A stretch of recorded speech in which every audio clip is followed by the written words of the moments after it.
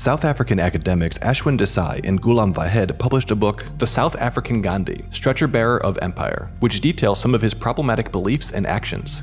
During his time in South Africa, he wrote about black people by repeatedly using a racial slur and believed Indians were infinitely superior to black people. He also wrote that white people were the predominating race,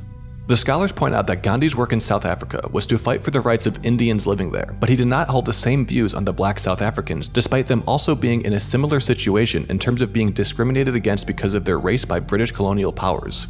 Gandhi, they state, appeared to be unmoved by the struggles of black people in South Africa. Gandhi believed that governmental power should remain in the hands of white people in the region, and some South Africans think that Gandhi actively worked with the British government to promote racial segregation. According to Desai and Vahed, Gandhi's belief in the superiority of white people and Indians over Africans, his exclusion of Africans from history, and his support of and role in minority white rule all lead to the conclusion that Gandhi was racist.